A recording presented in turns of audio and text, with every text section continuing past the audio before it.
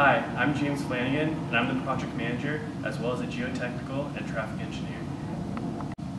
Brianna Lastallo, facility designer and construction.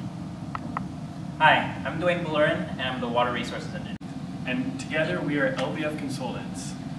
For the Civi 495 capstone project, we designed the Coronado Golf Course Recycled Water Treatment Plan. Here's a little background on our plan. San Diego does not have enough water in its own to satisfy the needs of its inhabitants. Because of this, between 85 and 90% of the water must be brought in from outside sources.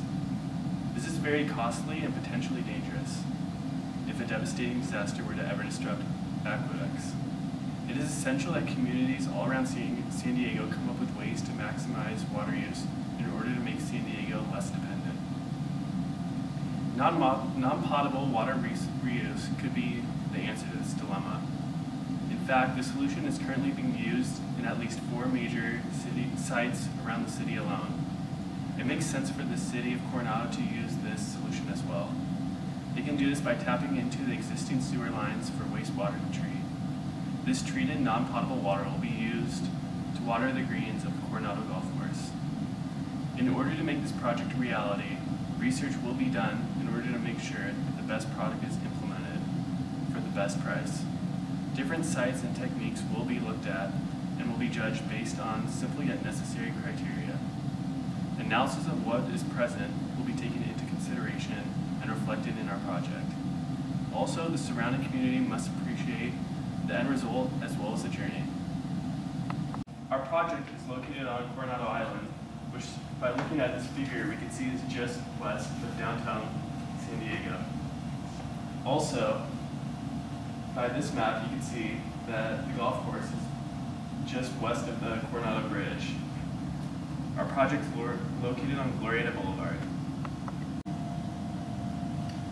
All right, so the first part of our project that we need to figure out is how we're going to bring all of the sewage over to our site location to treat the water treatment facility, which is located right here in Orange. The entire uh, city of Coronado Island has a very intricate uh, sewer system uh, made of both gravity-based uh, pipes as well as sewer uh, force mains.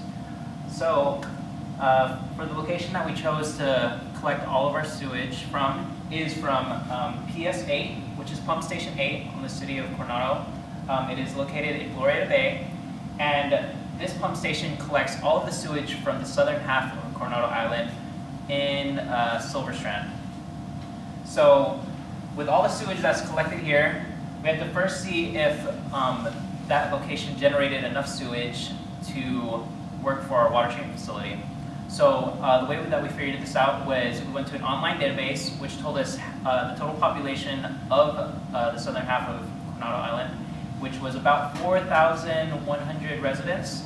With that number, we were able to multiply that by the average generation of 80 gallons per day of sewage as uh, found in the City of San Diego Sewer Design Manual. And that gave us a grand total of about 348,000 gallons generated per day just for that location. So with 348,000 gallons moving um, to the end point, which is PS4 on the northeast uh, corner of the island, that pump station then transfers all the sewage underneath uh, San Diego Bay over to the City of San Diego water treatment facility that is located in, um, in downtown.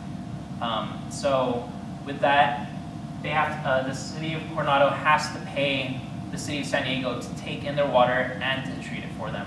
So what we're hoping to do is we're going to redirect that sewer line at this uh, connection point, which is off of uh, Pomona Avenue, and we're going to create a new pipe system going through uh, the residents' uh, streets, and then it's going to be going along this yellow line all the way to our water treatment facility. So we'll be installing about 2,600 uh, feet of new PVC pipe.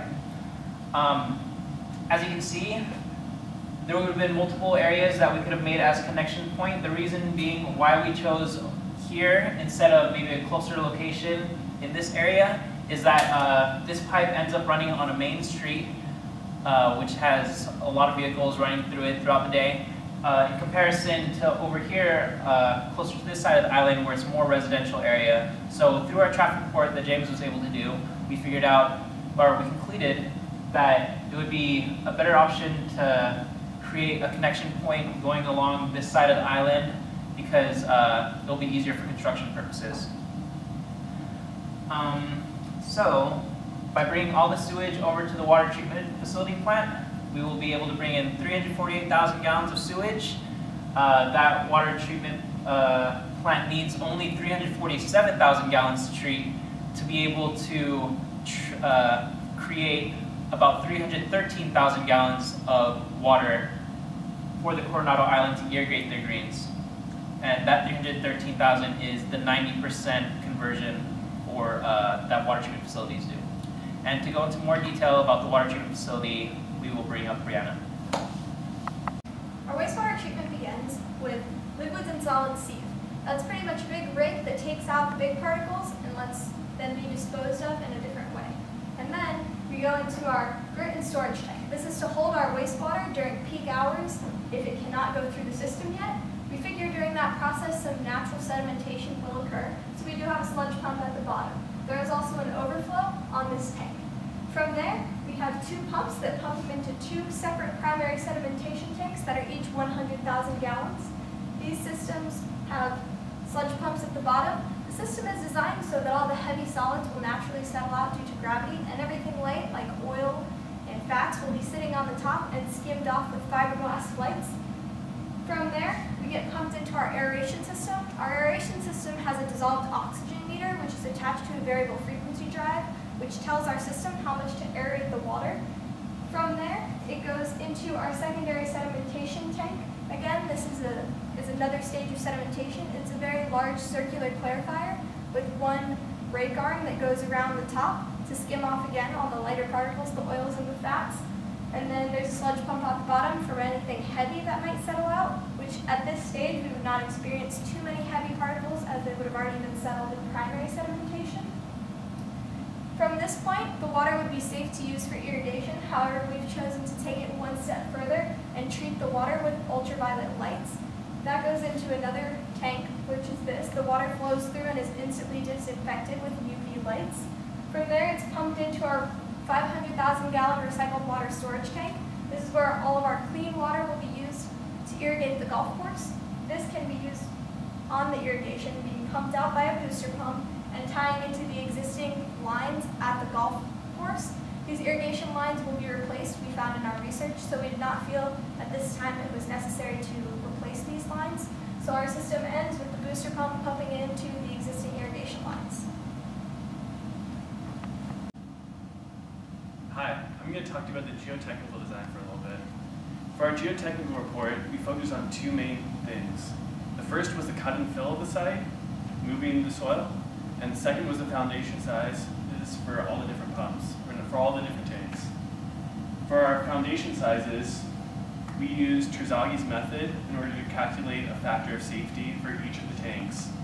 In doing so, we figured out that none of the tanks actually needed a foundation because how large they were, they were able to displace a lot of the load. Even though they didn't need a foundation, we still decided to put a three foot mat slab under each of the tanks in order to give it a little extra cushion as well as uh, prevent water seepage into the groundwater.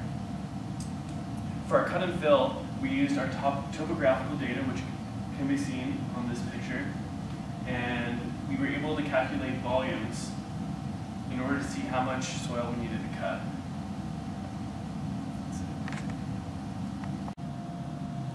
So now that we know what we're building and have an idea of the project, we need to determine exactly the schedule of the project, the duration, and how much it's going to cost. So our project involves demolishing an existing maintenance building. So we do have to be on site uh, starting 1-6-2014 to move on to the site. We will start by demolishing the existing building and then doing a grade of the site, followed by excavating the tanks, pouring the tanks. All of the tanks are going to be cast in place concrete and we will need to install the pumps and do all the electrical. The total duration for the project is roughly eight months and is set to end on 8-15-2014. The cost of the project has been broken down, as you can see, into each of the stages of treatment. So you can see exactly how much each stage costs and where your money is going. Some assumptions were done for the labor costs on the project. It was assumed that 15 men would be working eight-hour days for each of the tasks at each of the schedules. So that's how the labor costs were provided. We took a, several labor values and took the average of them to get those rates. The final cost of $4.3 million includes all labor, electrical, and materials, as well as equipment. And again, it will be an eight-month project. In conclusion, LBF Consultants has decided that the Coronado Golf Course recycled water treatment plant for irrigation purposes is a sustainable project. It will allow us to solve the dual problem of sewage leaving Coronado Island as well as the transport of water to the island. It will overall save the golf course a lot of money and be, again, sustainable for years to come.